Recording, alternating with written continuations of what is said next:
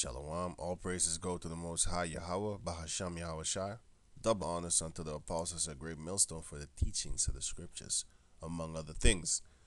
And shalom to the sincere Akim that's doing this work in sincerity and in truth. Now, this is Genesis chapter 43, subtitle, I mean, titled The Second Trip to Egypt.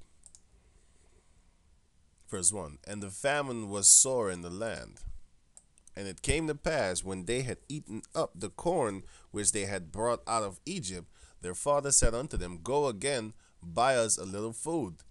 And Judah spake unto him, saying, The man did solemnly protest unto us, saying, Ye shall not see my face, except your brethren, I mean your brother, be with you.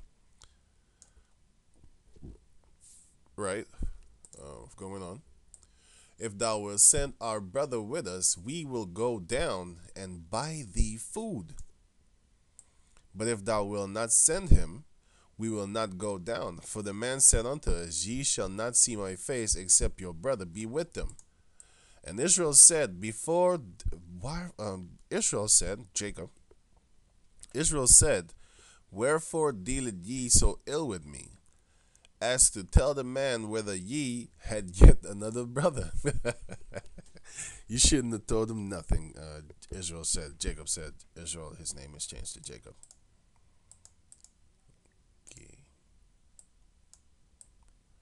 So, yeah, and, um, uh, it's like, uh, going on. Verse 7 And they said, The man asked us straightly of our state and of our kindred, saying, is your father yet alive? Have ye another brother? And we told him according to the toner of these words.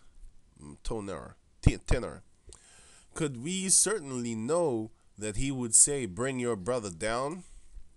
And Judas said unto Israel his father, Send the lad with me, and we will arise and go, that we may live and not die, both we and thou. And also our little ones. I will be uh I will be surety for him. Of mine hand shalt thou require him. And if I bring him not unto thee, and set him before thee, then let me bear the blame forever. For except we had lingered, surely now we had returned this second time.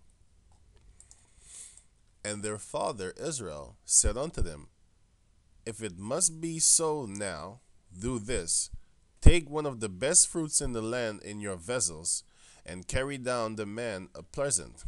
the man a present, right? A little balm a, a, and a little honey, spices and myrrh, nuts and almonds. And take double money in your hand. I forgot what myrrh is, but I know what it is. But uh, it's some it's some kind of spices or something like that, but I forgot what it was. Aromatic gum ricin obtained from several trees and scrubs. Okay, okay, okay. It's just spices. See sweet sizz sweet sweet sizzling. Hmm. Okay. Uh, it says for uh, tw- verse 12 and take double money in your hand and the money that was brought again in the mouth of your sacks. Carry it again in your hand. Peradventure, it was an oversight. Now, the word peradventure, it means uh, perhaps. Take also your brother and arise, go again unto the man. And the Most High Almighty, the Power Almighty, gave you mercy before the man, that he may send away your other brother and Benjamin, which is Simeon, the other brother. If I be bereaved of my children, I am bereaved. And the men took that present, and they took double money in their hand, and Benjamin, Joseph's little brother, and rose up and went down to Egypt and stood before Joseph. And when Joseph saw Benjamin with them, he said to the ruler of his house, Bring these men home and slay, and make ready, for these men shall dine with me at noon. And the man did as Joseph bade, and the man brought. Wait, shit, what the hell? And the man brought the men into Joseph's house. And the men were afraid because they were brought into Joseph's house. And they said, Because of the money that was returned in our sacks at the first time, are we brought in? That's what they thought. That he may seek accusations against us and fall upon us, meaning he won't kill you. Right? Fall upon you, meaning uh, uh, gonna kill you.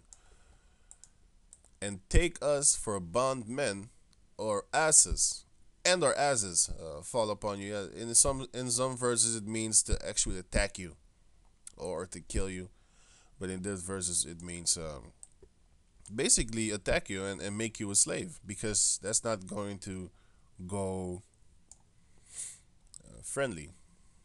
Okay. And they came near to the steward of Joseph's house. The word steward is somebody that's in charge. The the the, the, the like stewardess. And they communed with him at the door of the house and said, O sir, we come indeed down at the first time to buy food.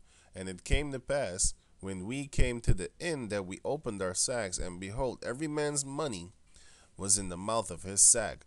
Our money was full weight, and we have brought it again into our hands. Into our hand. And the other money have we brought down in our hands to buy food we cannot tell who put our money in our sacks. And he said, Peace be to you, fear not your power, and the power of your father, the Most High Yahweh, had given you treasures in your sacks. I had your money, and he brought Simeon out unto them. Simeon was chilling there for a while. And the man brought the men into Joseph's house, and the man brought the men into Joseph's house and gave them water, and they washed their feet. And he gave their asses provender, which is, uh, you know, straw, straw, hay, whatever.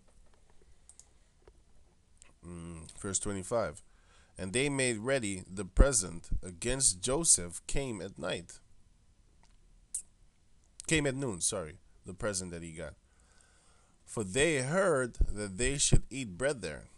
And when Joseph came home, they brought him the present which was in their hand into the house, and bowed themselves to him to the earth.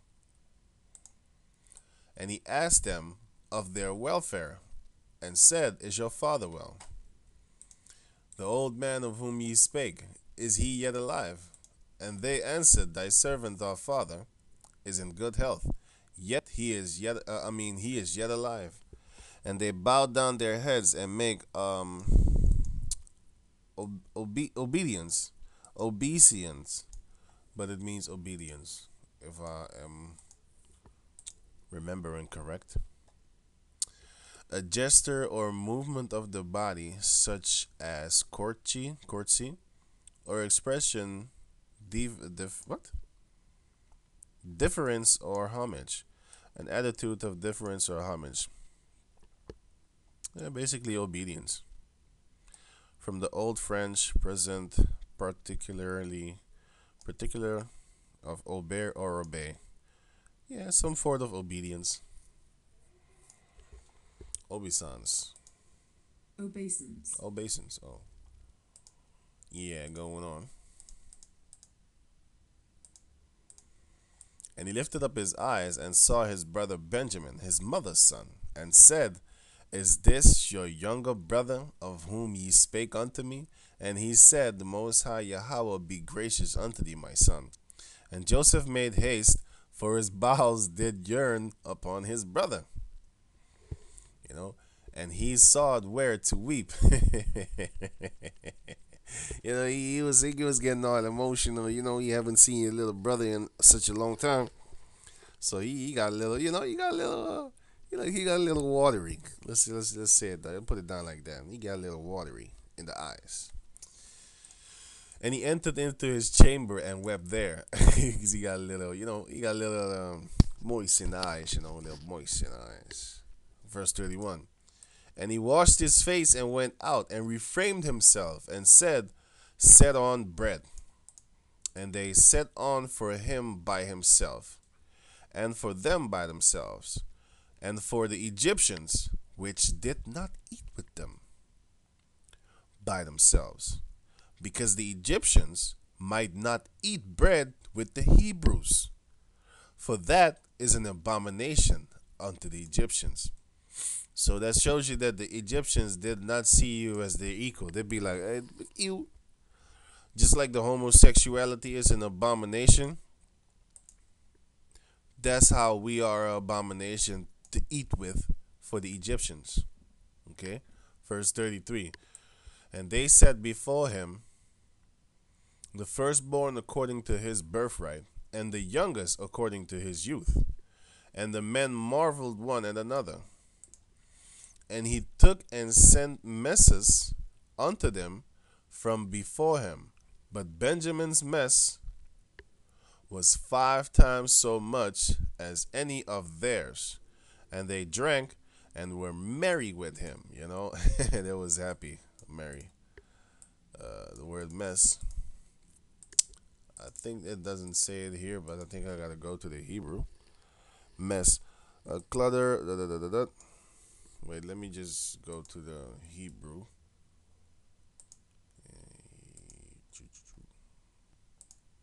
Right.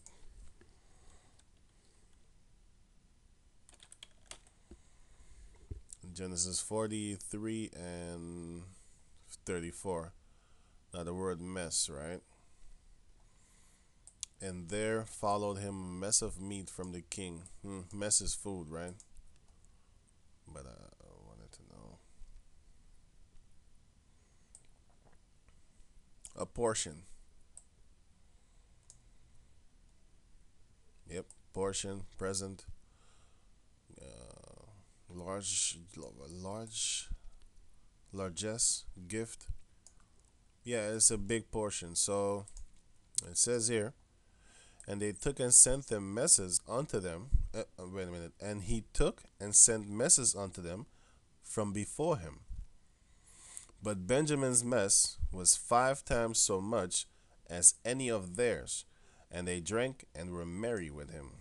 Meaning they were they were you know you get no uh, merry you know when you high when you drink you get you get nice you get good. So with that, I'm gonna say uh, shalom.